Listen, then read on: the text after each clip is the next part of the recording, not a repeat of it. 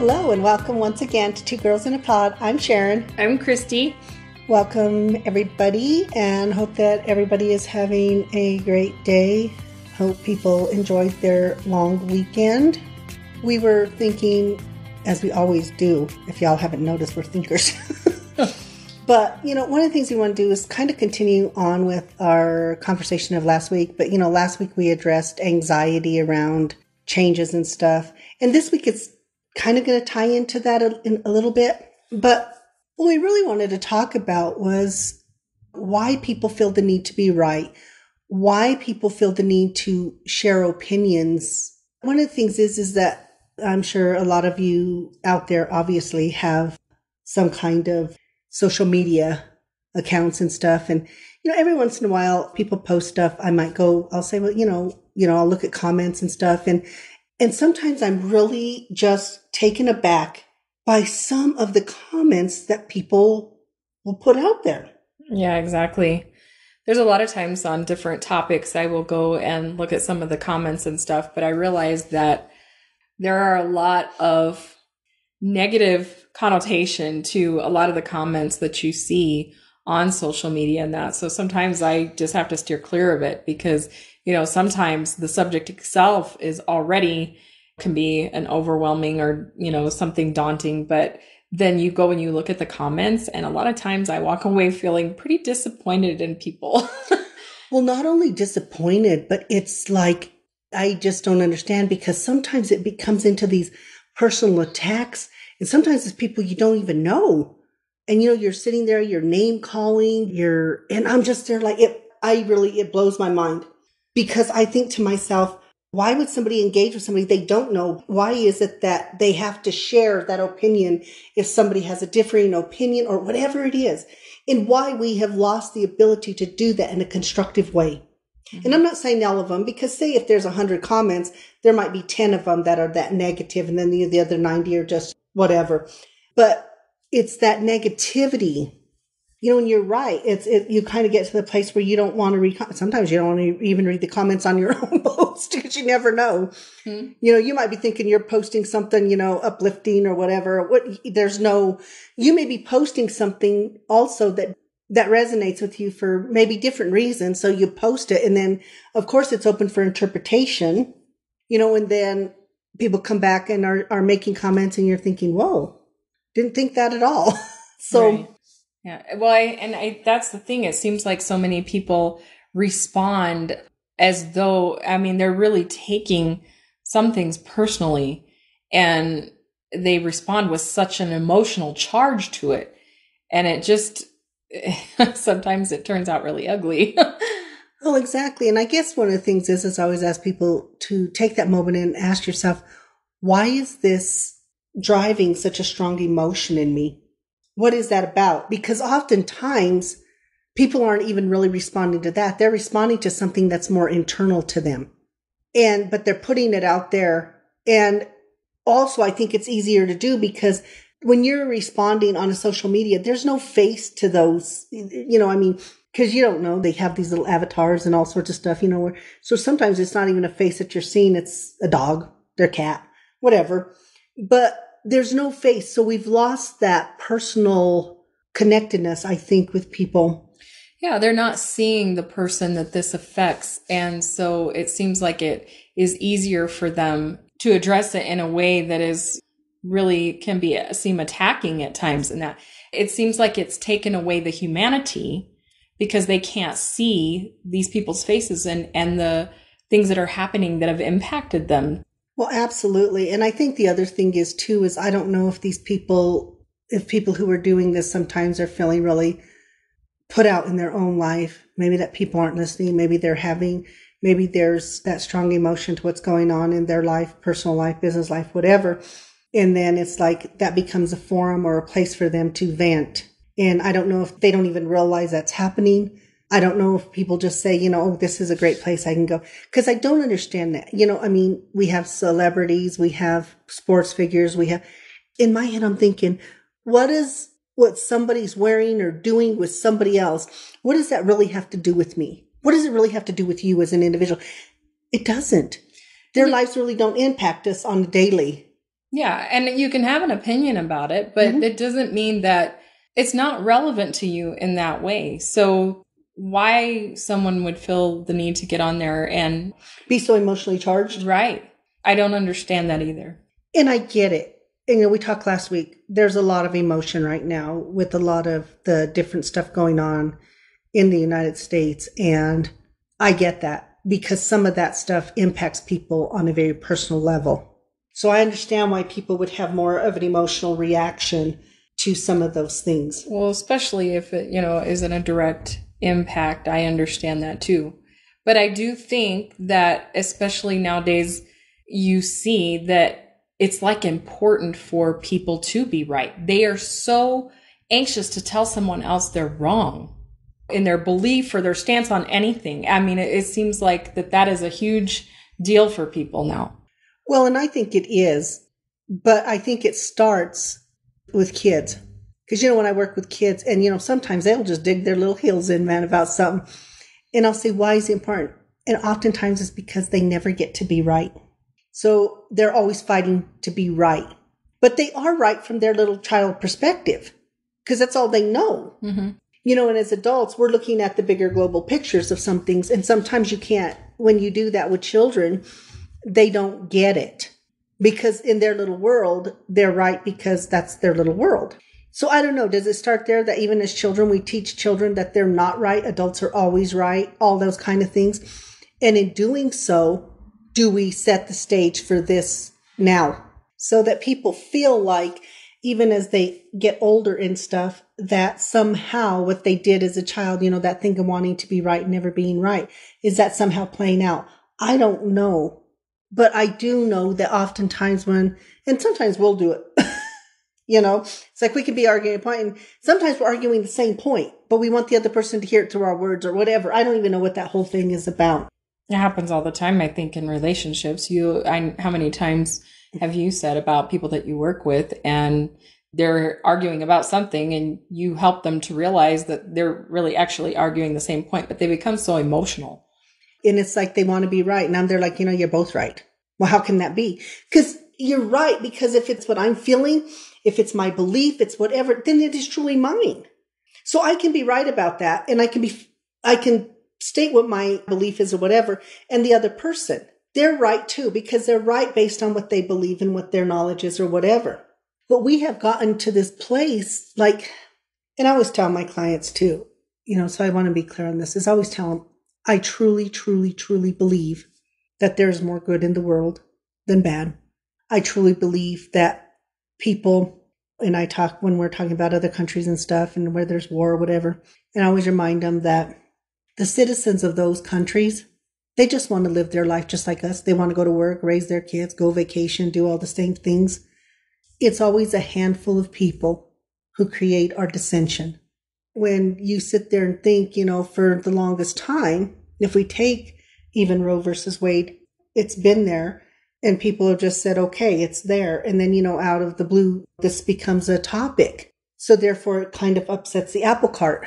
Mm-hmm. And now we've got all of this going on with this. And then what does that lead to? And then it creates that anxiety we talked about last week of, oh my God, if it's this, then what if it's this? And what if it's this? So people then go to that place of thinking, oh my God, if it starts with one thing, it's going to become so much more.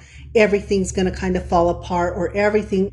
That's what we're talking about is the anxiety comes with what we see around us. How do we get rid of the anxiety? Sometimes I think the anxiety still also manifests with that thing of digging your heels in of and wanting to be right, wanting something to make sense to you. So it's like, no, this is right. This is right. Because if you feel like there's that sense of chaos. Mm-hmm. So that could be an important uh, part in it as well. But one person trying to yell louder than the other is not an answer. And I feel like that that's what it becomes with some of the comments and stuff that people make nowadays. Like I said, it's, I, it's so emotionally charged. And I do think that it has to do with just wanting to be right. And just because you voice it louder or do it in a way that you is makes you feel powerful by cutting someone else down, that's not the way to handle it. Well, and I'll often see that, you know, or in my office or when families are talking to me about the kids yelling, the parent yells, they're trying to out yell each other. And I'm always thinking, thinking, what is the point of this? now we have a yelling contest and, and I'll say, okay, pause. And they'll pause and I'll say, now, what are we talking about here? And they're both mad now, so they don't even know. Yeah, they're so identified with the emotion that you can't even resolve the issue. Absolutely. And I think sometimes in order to grow, I think in order to grow, we have to be strong enough in our belief system and our faith and in whatever that is, that we are not afraid of listening to another idea, of listening to an opposition to it. Because through that we get education and then it's not about being right, it's about learning. Well, another thing along those lines that I've learned is that not everything deserves a reaction. Absolutely. You can put space between you and some things that even make it as simple as thinking about going through, you know, scrolling through your Facebook or whatever it is that you have and thinking that you don't have to go down through there doing a reaction to every single post you see. It's basically the same thing regarding everything in daily life. Not everything deserves your reaction or your attention on it. Mm-hmm. But then the question becomes why do people feel the need to do that? Mm-hmm. It's once again, I think a lot of times people want to be heard whether they feel like they've been silenced or whatever. I think that might be a big component to it as well is, you know, I want to be heard. My opinion is valuable. Mm-hmm. But I always say your opinion is valuable. But as soon as the name calling in that starts, your opinion now means nothing because now you've lost all credibility. Now it becomes this tit for tat name calling and stuff like that. And there are people who are entertained by that. But through doing that, you do lose your power. Oh, absolutely. Absolutely, absolutely.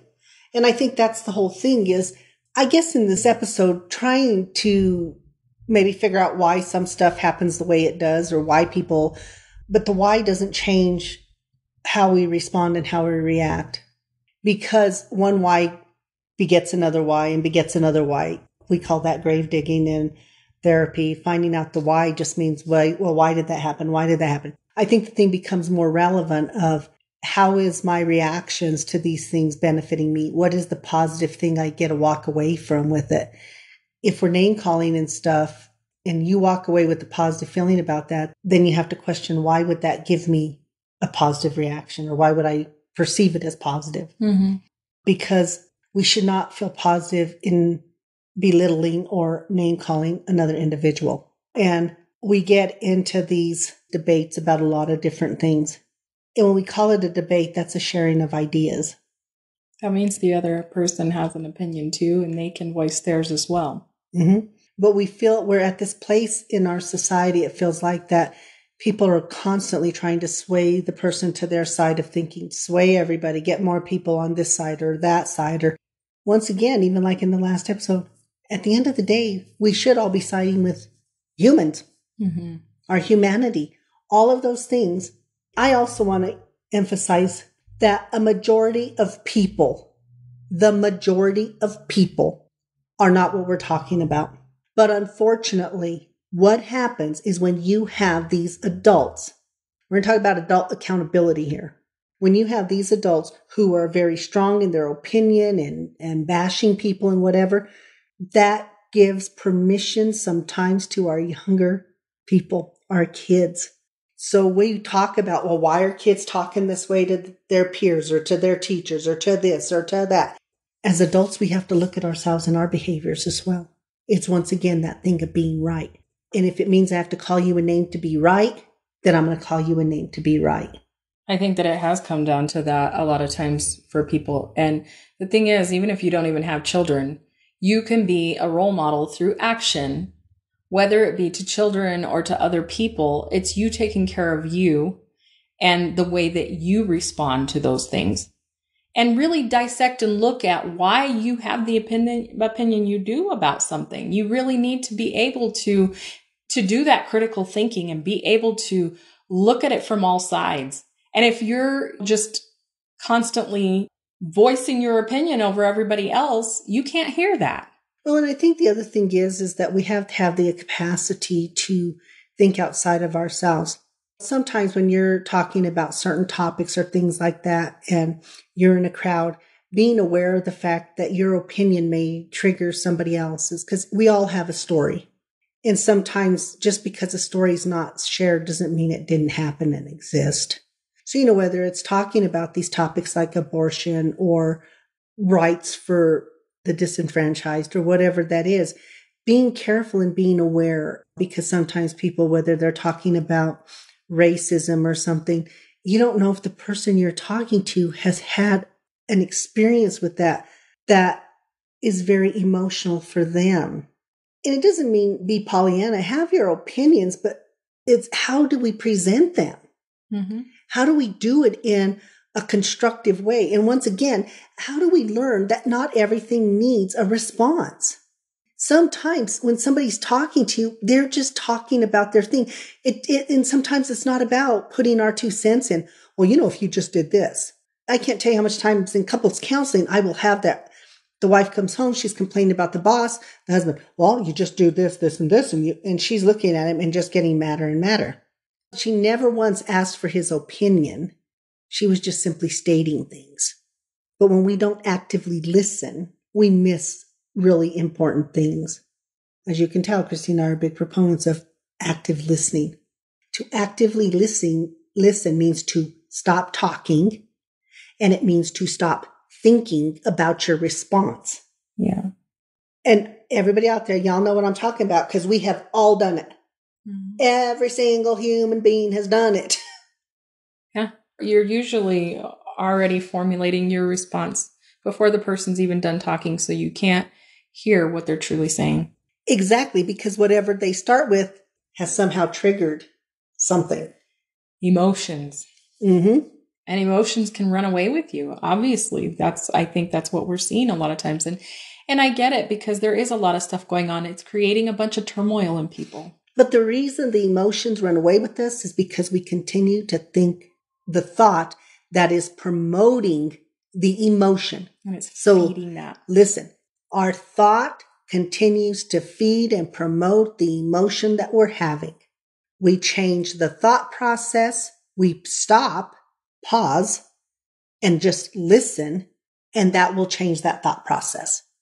But when we have that thought process followed by the emotion, then followed by the name calling or by, or by that thing of digging our heels in to be right and pushing and pushing, then we have continued to feed that, that thought process. Mm-hmm. So it's how do we change the thought process? How do we stop and say, why is this so relevant for me? Because I'm telling you, sometimes that just, it does freak me out. And I'll, and I'll talk. I don't understand why somebody has such a strong feeling about this. If a celebrity goes and buys a $50 million boat, whatever, and people, they're like, well, who, well, why are you doing that? You could be feeding three countries or blah, blah, blah. And I'm thinking in my head, it's their money. They can go it, with your money. Nobody goes and tells you how to spend your money. Mm-hmm. Whether you make 30,000 a year or 300 million a year you wouldn't like it if somebody's sitting there saying, well, you know, with that 30,000, you should, really should be buying, you know, more chicken nuggets instead of steaks for your kids or whatever. It doesn't matter. Right. The thing is, is that we are so busy putting our opinions into other people's lives that we're taking away time from our own life of, of, of getting us to where we want to be. When we put that much thought into other people's lives, we're not putting thought into our own. Mm-hmm. And that can be a deflection too, because maybe some people think, you know, I have a crappy life. I'm going to go vicariously through somebody else or whatever. Maybe that's what it is. I don't know. But it doesn't have to be that way. Why we care about what somebody's spending, who they're loving, where they're vacationing in a negative way. I don't get it. Now, if you're looking at somebody's vacation photos, we were looking at Sylvia. She was, her family was on a great vacation and uh, we were looking at the photos, and then I'm there like, oh my gosh, Christy, I, I, I really want to do a vacation. Mm-hmm. so that's a positive thing. But if I sat there and said, geez, well, how can she afford that? And it must be nice. yeah, it must be nice. Or then it's like, no, we support her. She is our friend. We love when she gets to go places. We love when any of our friends get to go places. Yeah, I looked at those pictures and I was so happy for her that her and her family got to have that experience and it looked like they were on a great adventure. And that's what it should be. It should, you know, because when you you do that thing of wonder how they can do this or take the time to do that, it just takes away from you. I think sometimes there's jealousy and envy and all that that comes in, but instead it's like, oh wow, what are those places? Are those somewhere we want to go? Shifting that to how do I make that experience? So it can be, it's in anything. It's from something as simple as somebody going on a vacation or what they spend their money on to these really intense things that are going on in our society right now. We can't sit there and turn a blind eye to it because in some ways, decisions by the Supreme Court, because the Supreme Court, that's about laws and stuff and laws affect people the, plain yeah, and simple. Those things impact our society, and I understand that. But not everything, like you say, deserves your attention. You know, and maybe you just take one piece of maybe something that's been a distraction and you say, hey, that's not important. I can get rid of that. I know one thing that I've done, I, it's rare that I look at anything that's like celebrity news or that. They can voice opinions about things that are happening on a political level or stuff like that. And that might be the thing that I hear, you know, or something like that. But where it comes to their lives and stuff like that, for me, that was something I could just negate. I don't, you know, I'm not about reading what who they're with this week. you know what I found very fascinating is, you know, as we listen to this, uh, you know, when when we look at the political climate, how many times I will hear people say, well, who do they think they are? Why are they talking about this political stuff? And we're talking about celebrities and this and that. And I'm thinking, they're a celebrity, but they're still a United States citizen. Yeah. The last time I checked, they live in this. And country. this is this is the thing that we somehow feel like, um, well, their opinion is not valuable. Everybody's opinion is valuable to them, and their opinion is valuable to somebody. But that's what I mean. We get into this thing of who can give an opinion and who can't give an opinion, whose opinion is more relevant than the other, who has, you know, more experience in this or that. Opinions are not about experience. They're only about your experience. Mm-hmm. You know, when somebody sits there and says, I don't like this, in my practice, I, and, and just reading stuff, you know, people, a lot of women said that, you know, about the 4th of July, I'm kind of boycotting it because they're kind of upset about the ruling when my clients sit there, say something like that, it's not my job to sit there and say, well, that's not what the 4th of July is about, and blah, blah, blah. You know what? You just respect where they're at. It's not about that. It's about their feeling and their belief. You just validate that. I'm sorry you feel that way. That must be hard for you, whatever that is. If you're feeling, you know, because once again, they all have their stories. And when we respect the fact that everybody has a history, everybody has and that history is what brought you to the day.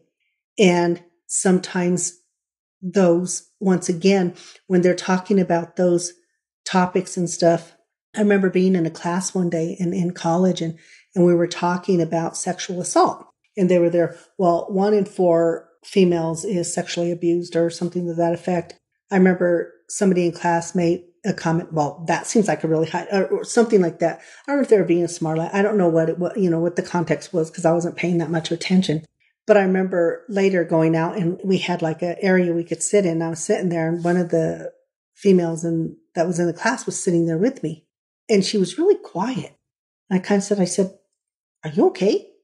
And she goes, I just was bothered by that. And I says, well, why were you bothered by it? Well, she had been raped and it had only been like two years ago, two years prior to that. So it was still, she goes, it still feels a little bit raw when people say certain things. And, and I was like, oh my God, yeah, you don't think about that. But it wasn't what the professor was saying about it, the statistics of it. It was the, the student in class who made the comment. And it happened to be a male student.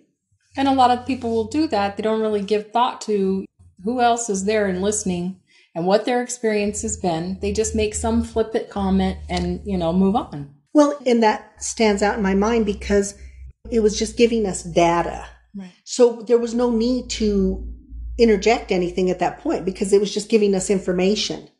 But his need to make a comment was there was no need for what was the purpose of it. And granted, he maybe didn't know that it would impact, but you know, if you use a statistics like that, a stat like that, and say you have 30 females in the classroom, then that's going to tell you something. Just saying. exactly. There's a good likelihood somebody's experienced something in there that, you know, your comment may be harmful. And so I think those are things, those are just random examples from my life. So I'm sure if you guys sit back, you can sit there and think of those random examples in your life too. Maybe arguments over things that with people, some strangers, sometimes maybe colleagues or whatever, and you're there thinking, and now you look back and say, Oh my goodness, why am I doing this? Or why was it important? Hopefully we're evolving. And when we're doing this podcast and we're sharing these things, we're hoping that something resonates with you and and you say, Oh my God, you know what? That might be something I can implement because maybe this is somewhere I struggle or, you know, maybe I do want to be able to take a, a lot of the emotion out and still be able to present my argument, so to speak, or debate this issue without the emotion. Because as soon as the emotion starts, the debate ends. The conversation shifts very dramatically. Well, as you mentioned, you lose credibility when you do that. Absolutely. And to not be disrespectful, even if it's not your belief. Sometimes kids in their youth will say things. And I remember one day we were talking and your brother's with us and he says something and it was faith based and, and it, you could tell it really bothered your mom a little bit. And, and we said to him, you know, it's okay to have your opinion, but not at the expense of degrading somebody else or, or being mean to somebody. Right. I always love this one too. This is one that I always love. Well, I'm sorry if people just can't handle the truth. Do you know how many times I hear that in my office when I'm doing family work or that? Well, I don't know. They just can't handle the truth. And my thing would be, could you please uh, let me know how you presented that truth? Well, I just told them straight up. Okay, but what does that mean to tell somebody straight up? And then when they repeat them, they're like, whoa, now I see the problem here. And I remind people, you're presenting your truth. It's how you see it. That's your perception. Yes. And people say, well, there's only one truth. We know that's not true. if there was only one truth, we wouldn't have changes in laws. We wouldn't have changes in this. No, truth, everything morphs with society. Society determines what is, you know, even if we do the right and the wrongs or the, what's the law and what's not the law and all this and that other stuff. It's as people move, change in all of that society. So paying attention to that and understanding when you are speaking, if you want, you can start with, this is my truth. This is how I see the truth. Then that's yours. Take ownership of it. Run with it. Be proud of it. but your truth is not everybody's truth. And people will say, well, there's one way and only one way to believe. And how does that even make sense? If it was one belief system, everybody would be Christian, everybody would be Muslim, everybody would be Buddhist, Hindu, whatever, Wiccan. It doesn't matter. But we're not because each person is looking and navigating their life to the best of their ability, even in their spiritual way and their emotional. It's all through their own scope and, and their own experiences and things like that. And it's like you mentioned, there are laws that change throughout time. It, you know, was accepted widely at one point about marriage at a very young age. My aunt on my mom's side, she was 13 when she was married. And that was very widely accepted. And that was their truth. It was okay to do that. Now we don't see that so much. now, if you see some man going to marry a 13 year old girl, everybody's up in arms. But it wasn't that long in our history that that was an acceptable thing. So, you know, people sit there and say, well, they might even said to your aunt, well, that was wrong, but they stayed married. They stayed married for, yeah. Until uh, he passed until away. Until he passed, yes. So once again, that's what I mean. Those things change and it's like, we'll make, and maybe they're meant to because it is about an evolution. We should be evolving mm-hmm. a human race. We should be evolving. But I know that sometimes it feels like we're paused in our evolution. Sometimes people feel like we've taken steps back in our evolution. I mean, depends on who you're talking to. Mm-hmm. And when those truths become about oppressing someone else or a certain group or that, that's when I have issue about those kinds of things. But like we said, not becoming so identified with the emotion that you can't have a decent conversation with someone. And I think that's what it is. In that case, you're talking about oppression and, and for some, people, for a lot of people, the overturning of Roe versus Wade feels like oppression to a lot of women. And therefore, it's going to create strong feelings. But it's not just women who are feeling that that is an oppressive thing to women. There are a lot of men who are just as outraged mm-hmm. about the whole thing. Maybe they, because they're married and they have kids, or maybe they're just more socially aware or whatever. I don't know. It depends. You know, for everybody, it's a different thing. But you're right. Some things are going to trigger us more than others. I, my passion is mental illness. And when I see, once again, you know, we have these shootings and I'm sure one of my clients today will tell me if they want to make it about mental illness. I have found in the time that I have done this job, 20 plus years, that I have met some of the most amazing people, amazing people who really are about humanity. They just can't see themselves fitting in it, but the capacity that they have for other life. And so it is very upsetting to them.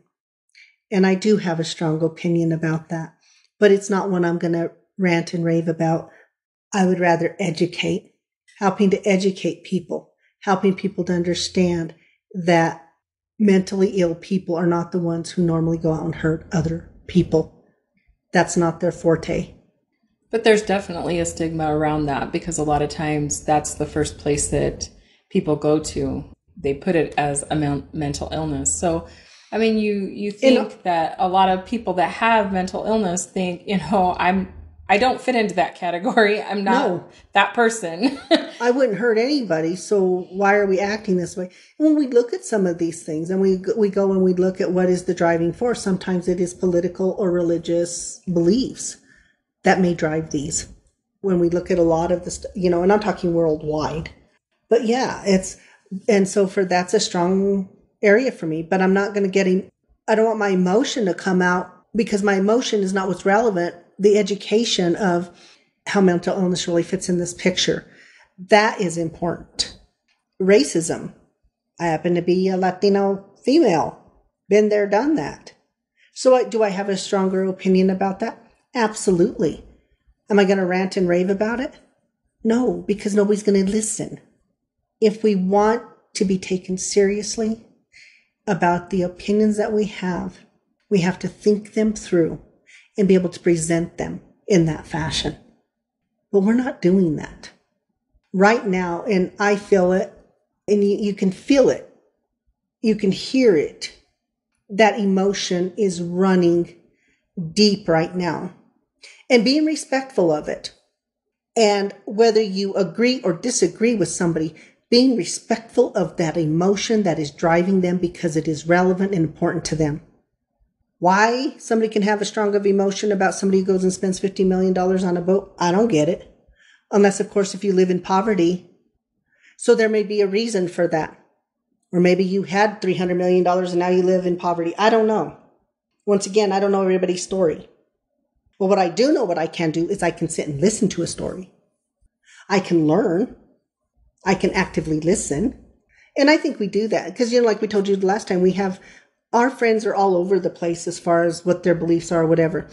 It does not end our friendships. Mm-hmm.